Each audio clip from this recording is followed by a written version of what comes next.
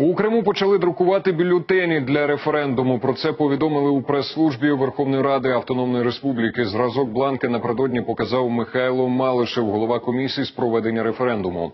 Друкуватимуть їх у державній друкарні Таврида в Сімферополі трьома мовами. Видача бюлетенів територіальним комісіям запланована вже на завтра.